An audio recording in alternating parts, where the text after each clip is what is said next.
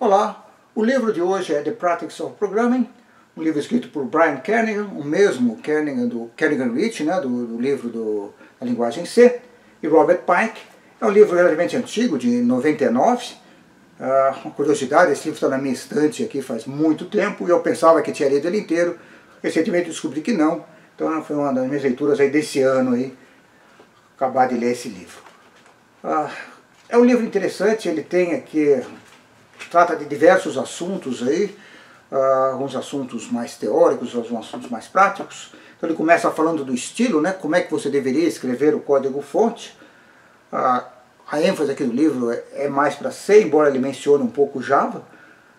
Tem uma parte sobre algoritmos estrutura de dados, que é uma leitura interessante, mas eu acho que, os exemplos são coisas meio antigas, são coisas muito simples, que normalmente uh, todas as linguagens vão ter isso ou na biblioteca ou mesmo até embutido na própria linguagem. Né? Projeto e implementação, depois tem uma parte sobre interfaces, a parte de interface dentro do programa eu acho que ainda é interessante, mas a parte de que ele fala aí a respeito de interface com o usuário, realmente está falando aí de interface linha de comando, é algo que está aí bastante obsoleto. Né?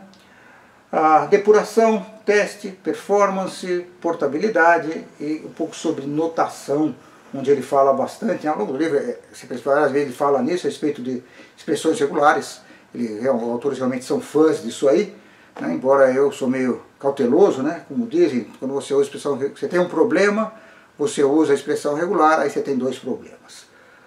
Ah, na parte de depuração, né, tem um conselho famoso aí, né, que diz que a depurar dá sempre, exige sempre o dobro da inteligência do que escrever o código.